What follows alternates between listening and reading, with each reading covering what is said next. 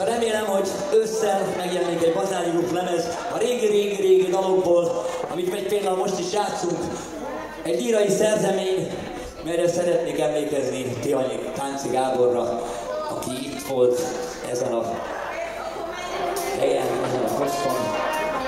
De Göncsi Attuka betöltözte, és jó barátja volt a táncinak. Hölgyeim és Uraim, a csend fogságában